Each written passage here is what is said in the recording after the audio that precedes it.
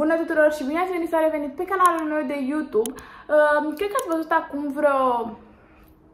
Cred că acum vreo lună am uh, pus eu un haul cu farmacia T în care vă povesteam că mi-am cumpărat niște produse noi de skincare și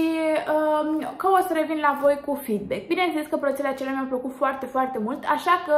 după o lună vin astăzi la voi cu rutina mea de term, de vară, nu știu, spuneți voi cum vreți, actualizată, pentru că îmi plac super mult produsele pe care le-am le, cumpărat atunci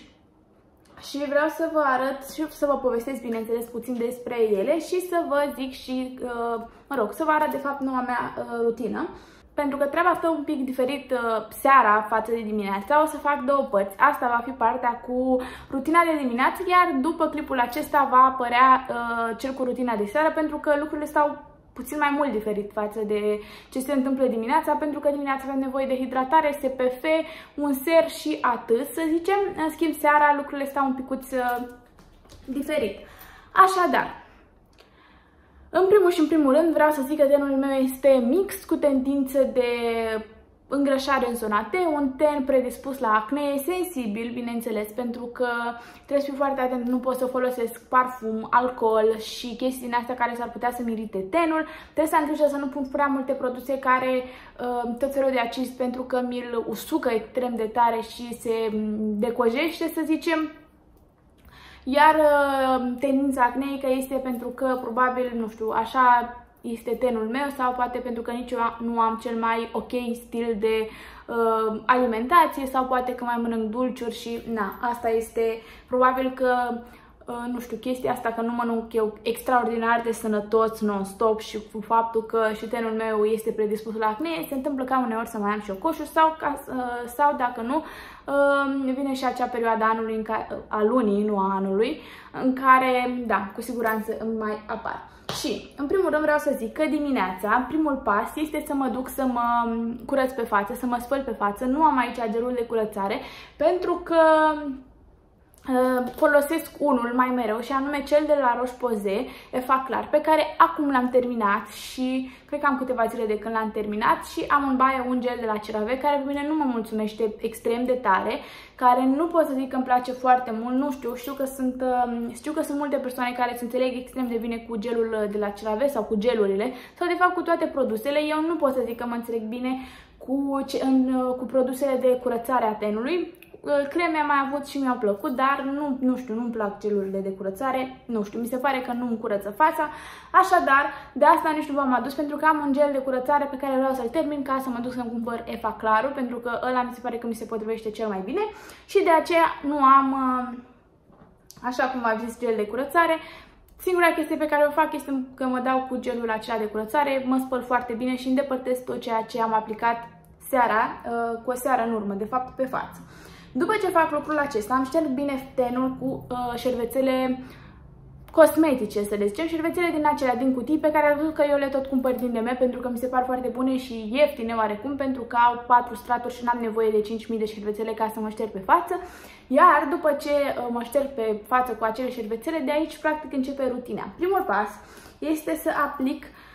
Centella Unscented Serum de la Purito. Cam atât am consumat într-o lună, ținând cont că aplic două pompițe dimineața și seara, deci patru pompițe pe zi, timp de o lună de zile, că fix o lună de zile este. Uh, da, cam atât s-a consumat, deci să zicem că două degete, probabil că din serul ăsta ajunge 3 luni de zile, pentru că mi-aduc eu, ia să vedem ce gramajare, dacă aș putea să văd. Mm, nu cred că scrie, dar cred că are 60 de ml din ce mi-aduc eu aminte și în, uh, știu că la un moment dat vă povesteam eu că îmi luam uh, varianta aceea de 15 ml, parcă, și îmi ajungea o lună de zile, dar nu știu dacă aplica mereu și dimineața și seara, nu mai țin minte, dar acela mi ajungea aproximativ o lună, deci ăsta clar îmi va ajunge 3 luni de zile. Este un um, um, serum uh, de față pentru, um, zic eu, pentru tenul sensibil, pentru că e foarte ok pe ingrediente. Um, are centela asiatică cu extract, practic 49%, niacinamide, ceramide, peptide. Este o formulă vegană, văd că mm, nu are parfum și nici uh, uleiuri esențiale care ajută la uh, restabilirea, eu citesc uh, de pe spate, care ajută la restabilirea barierei a feței, mă rog, uh, se aplică mă rog, când vreți voi și îl, uh, uh, mă rog, dimineața și seara sau puteți doar dimineața sau puteți doar seara dacă aveți mai multe seruri și le alternați. Uh, trebuie, poate fi aplicat și pe gât, evitată zona ochilor, dar vreau să vă zic că este unul dintre serurile cele mai bune pe care eu le-am testat. Ăsta și mai îmi place mult la cu acid hialuronic de la uh, L'Oreal Revitalift Filler cu 1,5% acid hialuronic, nu mai știu exact. Ăsta îmi place super mult pentru că se absorbe foarte repede, hidratează foarte bine tenul și să știți că nici nu are un miros urât, adică e un miros foarte curat, foarte, mă rog, special pentru un ten care probabil este predispus la diferite probleme, plus că, uh, nu știu, eu nu sunt deloc de acord cu produsele care au parfum, nu știu, cel puțin când vine vorba de produsele de față, pentru că na, la corp e altă treabă, dar când vine vorba de față, mi se pare că parfumul ăla nu prea e ok și mi se pare un picuț nociv. Acum nu știu nici eu, că nu pot să zic că am studiat uh, extrem de bine parfumul din produse, să-mi dau eu părerea, zic doar ceea ce consider eu că nu mi se pare ok. Gândiți-vă că, nu știu, puneți o picătură de parfum pe față, bine, e puțin dubioasă uh, asocierea, dar nu știu, mi se pare că parfumul, oricum și pe pielea noastră, dacă ne aplicăm parfum pe gât, se vede că uneori poate irita, da, voi pe față. Da, Asta îl super recomand, v-am zis că este un ser foarte bun. L-am cumpărat de vreo 2-3 ori în varianta aceea micuță de, 15, de 15 ml și mi-a plăcut foarte mult, deci m-a făcut să recumpăr ceva, să m-a făcut să cumpăr de fapt și varianta asta mare care îmi place foarte mult și uh, chiar vi-l recomand. După ce mi-aplic serul pe față, vin cu crema de ochi. La un moment dat vă povesteam eu că parcă nu mai vine să pun și cremă în zona de sub bot pentru că mă descurc cu crema de față, dar în schimb crema asta uh, nutritivă pentru ochi cu complex bioactiv, cu uh, avocado, frunze de afin, albăstrele, semințe de strucuri plus hialuronat de sodiu și vitamina E, asigură o hidratare profundă și previne îmbătrânirea prematură a pielii din jurul ochilor.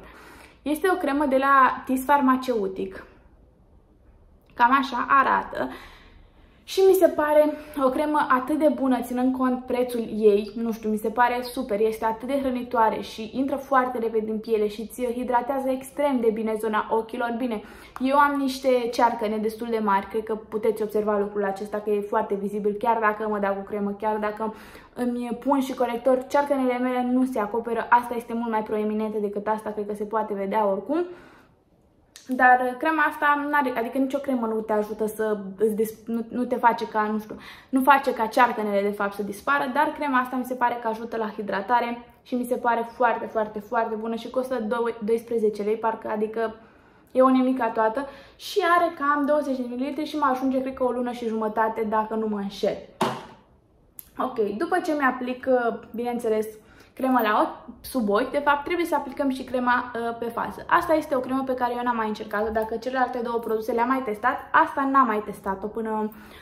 până să o fi cumpărat. Este Hydratern de la Synergy Ten cu vitamina E și macadamia oil, are 50 de ml și este o cremă de, uh, pentru hidratare. Uh, zice, ziceam eu la început atunci când mi se pare un picuț cam grasă și îmi făceam eu griji că nu se va absorbi în piele, ținând cont că a venit vara și că nu e ok să folosim niște creme um, mai grase, dar, sau mă rog, nu e foarte grasă, dar mi se părea mie că nu se absorbe rapid pe mână, dar după ce am aplicat-o pe față, chiar am văzut că se absorbe foarte, foarte repede și este super ok. Să vă mai arăt încă o dată. Asta cred că a fost 50 de lei dacă nu mă înșel. Parcă, parcă așa a fost, nu mai știu dacă avea reducere, dar oricum dacă chiar sunteți interesați să vedeți și preț, puteți să intrați în clipul de acum o lună cu farmacia Tei, cred că ultimul este și veți vedea acolo toate, toate detaliile. Într-o lună am, am consumat cam până aici,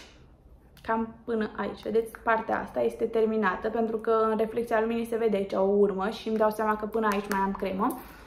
Deci, practic, crema asta ți ajunge cam o lună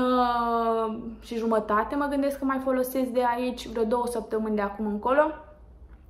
Pentru că o folosesc dimineața și seara două pompițe, că mi se pare destul de... mi se pare suficient două pompițe. Îmi place foarte mult că vine cu dozator, aplicator, spuneți voi cum vreți, e foarte faină chestia asta și îmi place. Și da, și pe asta vă super recomand pentru că um, v-am zis, dacă simțiți nevoia de hidratare, dar Uh, nici nu vreți să aveți fața, nu știu, super lucioasă pe timpul zilei, crema asta e ok, chiar dacă la, la început vi se pare că parcă nu intră repede în piele, să știți că se absorbe foarte repede. La momentul în care am cumpărat-o, m-am cam speriat, pentru că eu în magazin am văzut că scrie Macadamia Oil, adică ulei de macadamia. Eu, pentru că v-am zis că am un ten sensibil, uh, nu folosesc ulei, parfum, alcool, așa cum v-am zis și la început, dar să știți că asta nu mi-a cauzat probleme deloc pe, pe față, adică n-am avut, uh, nu știu, coșuri sau chestii din astea. Deci vă, uh, vă recomand pentru că v-am zis că nu cauzează probleme sau cel puțin eu n-am avut ca să fiu mai corectă. Iar ultimul pas în ceea ce privește uh, rutina de dimineață este SPF-ul. Este SPF-ul. Momentan l-am pe acesta de la Revox Just Daily Sun Shield UVB UVA, mă rog, SPF 50 plus cu acid hialuronic, care 30 de ml și costă cam 30 de lei, dacă nu mă înșel, nu mai puțin, 27-25, depinde de unde o cumpărați. Ăsta este SPF-ul pe care l-am eu acum în casă. Înainte foloseam uh, acela de la Synergy Term Rose, acum l-am pe ăsta care mi se pare la fel de bun, dar ăsta parcă, nu știu, nu e la fel de lucios ca celălalt, dar ce că am auzit că acela ce că protejează mai mult, ținând cont că amândouă sunt SPF 50+, plus. Uh, nu știu exact care e faza, dar uh, mie mi se par la fel de bune amândouă. Ăsta este mult mai ieftin decât celălalt oricum. Și uh, asta este rutina mea pentru dimineață. Vedeți, folosesc patru produse, e foarte minimalistă, foarte, foarte rapidă,